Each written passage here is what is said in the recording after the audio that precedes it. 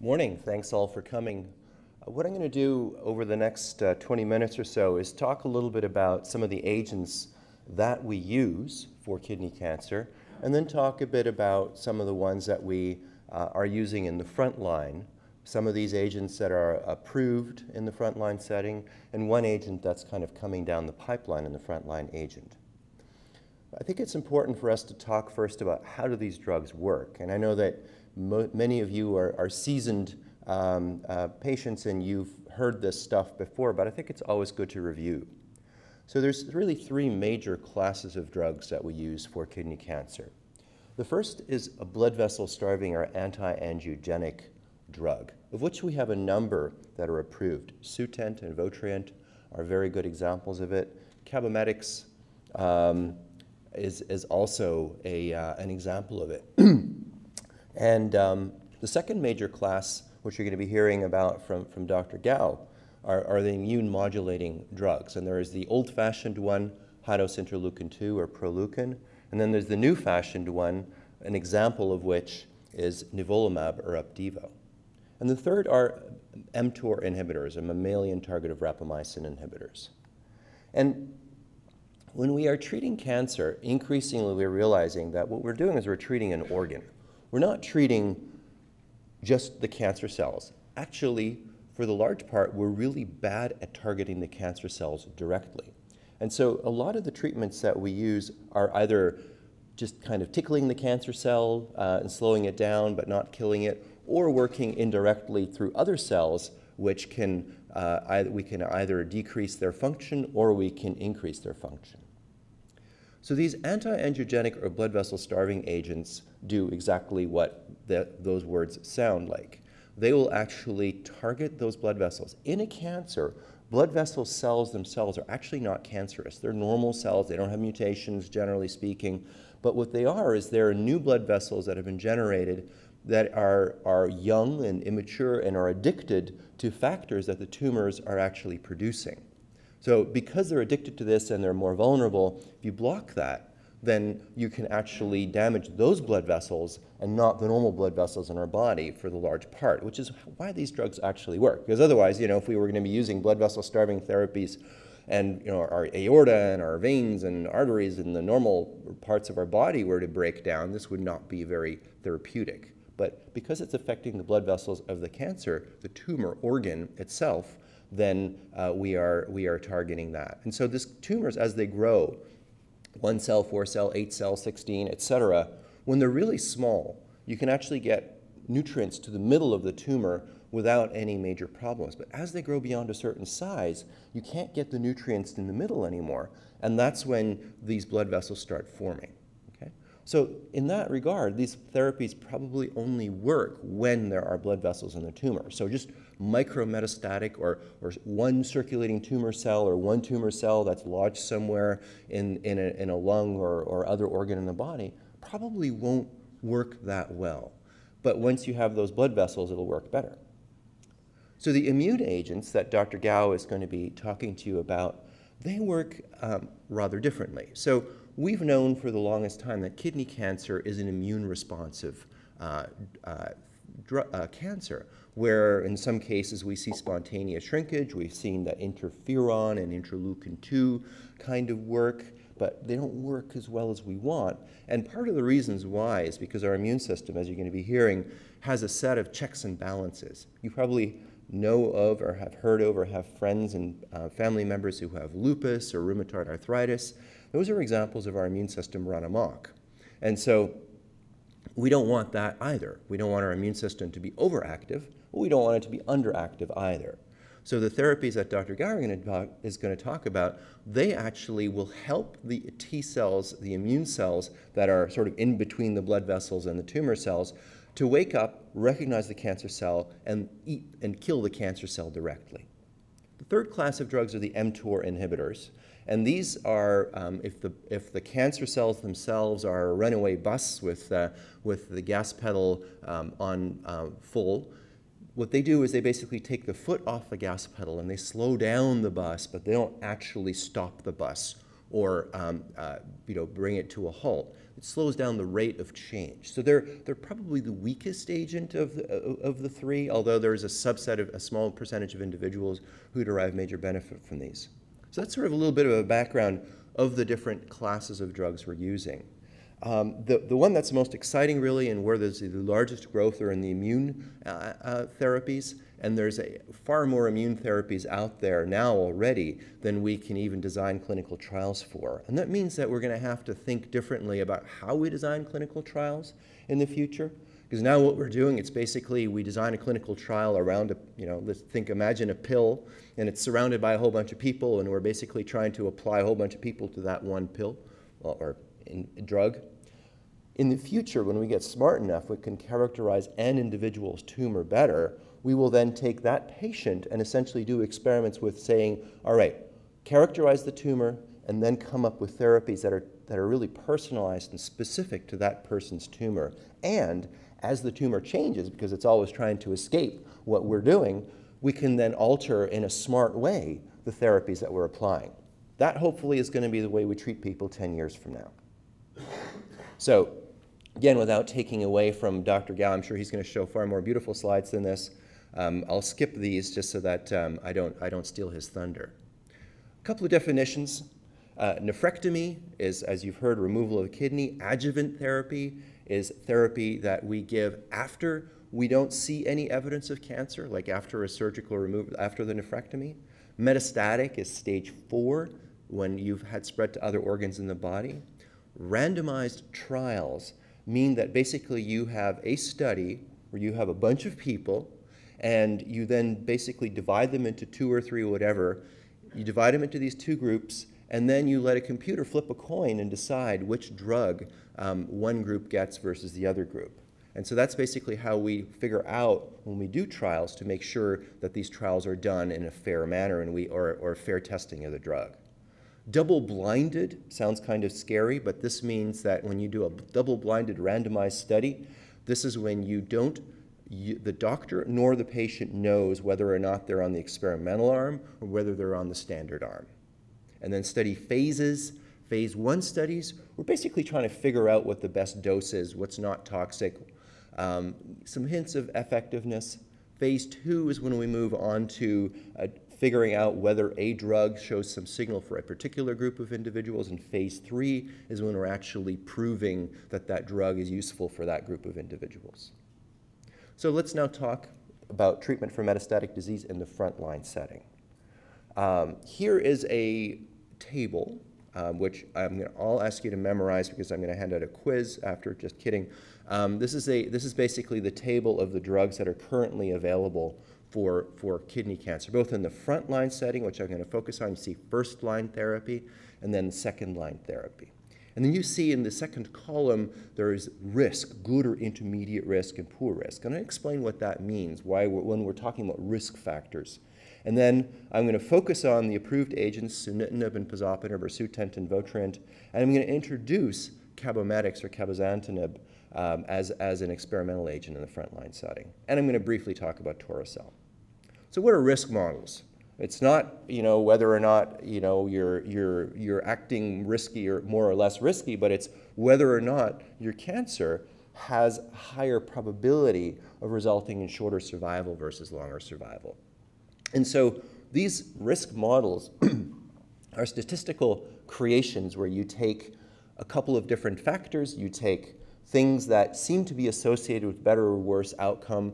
For example, short time from diagnosis to treatment, low hemoglobin, high LDH, high calcium, um, less feeling wellness. And then you put those together and you can come up with these, these, these um, models that say that if you have none of those risk factors, you're going to have the best survival. If you have one to two of any of those risk factors, your survival will be somewhat lower. If you have three or more, it's even lower. And what we're looking at here is we're looking at what are called Kaplan-Meier curves. Um, I guess uh, uh, those, those are the statisticians who develop these. And then you have years from diagnosis, and then you have proportion surviving. So x-axis is years from diagnosis, proportion surviving is the y-axis, and as people pass away, the lines go down. And so you can see obviously the blue line is the one that has the best outcome. Again, not great. This was back in the interferon era. We have another one that's called the, well, it's called the IMDC, um, or we also call it Heng criteria after Danny Heng, who's a, a wonderful statistician and, and, kidney cancer doctor who lives in Canada. Um, and this is a slightly different risk model where we basically take, uh, take out LDH, which you saw in the other one, and put in high white count and high platelet count as being other negative risk factors. And here again, you can create these and you can show different survivals as a function of these risks. Okay, so now you guys are experts on um, what, how these drugs work and why when we talk about risk stratification or, or, or, or risk um, models, what that means. So some of the key questions we want to ask are, once you're diagnosed with metastatic kidney cancer, do you have to start treatment immediately? You heard a, a great talk from Dr. Wood about uh, you know, taking, using surgery to actually render people free of disease. But what about watching and waiting even when you have metastatic disease. Might sound crazy, but uh, let's look at some of the data. Uh, is there a best frontline TKI? And um, you know, with, with all respect to the pharmaceutical companies and, and uh, that, the answer is probably not, although we can take really good drugs and make them work somewhat better for patients. And then I will not ask, is there an ideal sequence after frontline treatment failure? That's what Dr. Tannir is going to talk about. But then I'm also going to talk about mTOR inhibitors, or specifically Torisel a bit. So what about what we call active surveillance? So if you have a patient who's diagnosed who has metastatic disease, can we watch? And so Brian Rini, one of our colleagues at Cleveland Clinic, des designed this study and took 52 individuals who had asymptomatic mean they were symptom-free, they didn't have any pain from any of their, their metastatic sites, um, and had no prior treatment, and watched them basically every three months and determined how long it would take for them to really need to um, start systemic therapy. Systemic therapy meaning active therapy. And the answer is that it took about uh, uh, 22 months for the good risk. They also then stratified between good, um, good and intermediate, and uh, sorry, good risk patients, and then intermediate and poor risk patients. And if you had good risk features, you could wait almost two years before starting therapy in this trial versus um, in the unfavorable group, they have to start sooner because you know maybe symptoms of rapid rapid growth of disease, et cetera, et cetera. So this is something that we can do for some individuals. Um, just a slide of the NCCN guidelines. So this is basically a guideline uh, that uh, uh, is formed basically a committee of doctors around the country who basically you know say what's the what's the therapy that we give uh, in, in the front line setting or, or in the second line setting. And here's kind of a laundry, the, the laundry list, and basically it's a set of recommendations for therapies that have some data. And we see that pazopanib and sunitinib are category one, and bevacizumab and interferon is also category one. Um, and then Torisel or temsirolimus is category one for poor prognosis patients, and category 2B, meaning somewhat lower um, level of, of, of confidence for, for people who don't have poor risk features. And you see high-dose IL-2 for selected patients, axitinib, and best supportive care. Well, let's talk about the two that are most commonly used. First of all, sunitinib or Sutent. And this is an oral anti-angiogenic or blood vessel starving drug. The official way of giving it is, two, is four weeks on and two weeks off, although we have data that we have uh, presented at GU ASCO and we're going to be presenting at ASCO uh, that show that, that if you give people this drug two weeks on and one week off, it looks like the number of grade four toxicities goes down or higher grade toxicities or side effects goes down. And at least in our small study, it, show, it suggests that people get the opportunity to get a better response and stay on the drug longer and have better survival. So the data are not super duper strong with regards to changing the schedule, but if you ask any oncologist who treats kidney cancer around the country, you're going to find that the majority of them have moved from a four week on, two week off schedule to a two week on, one week off schedule. So, um, the other drug that we, we give a lot of is, is pazopanib, um, or, or, Votrient, and I'm going to show some slides about why that drug was approved. But um, Votrient is a, a drug that's also an oral agent, and it's given um, daily and the standard dose is 800 milligrams per day. That was FDA approved in 2009. Sutent was approved in 2006. And then a study was done comparing them head to head. And this study is actually a little bit interesting, and it was called a non-inferiority study. And this has nothing to do with inferiority complexes or anything like this, but it has to do with the design of the trial. This, the hypothesis, whenever we do a trial, we're testing a hypothesis. The hypothesis that was being tested is that Votrient or pazopanib was not inferior to Sutent in previously treated patients. So it was pretty much as good as is another way of saying it, although more technically you can't say it was as good as, just that it wasn't inferior to. This was a big study, 1,110 patients that were randomized between Sutent and a four-week on, two-week off schedule versus Votrient in a, in a standard um, 800 milligram schedule. And here again we have those Kaplan-Meier curves. The one on the left the, is the proportion of people who did not have the disease start growing, and the one on the right is the overall survival curve. And again, you know, over time, time is on the x-axis, the y-axis is then the number of people who are still in that happy state of either not having progressed on the left or are still surviving on the right. And you can see that these two curves, one for the Votrient and one for the Sutent, are pretty much overlapping.